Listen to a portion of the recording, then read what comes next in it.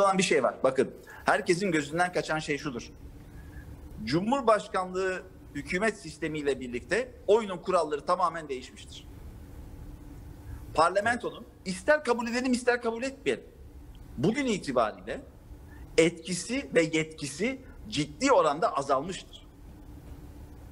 Milletvekilleri halen saygın e, insanlardır, saygın kurumların başındadırlar falan filan ama mühür saraydadır. Cem Bey, Sarayın, sarayın seçimi ise yüzde 50.1 ile olur. Yüzde 49.95 yetmez.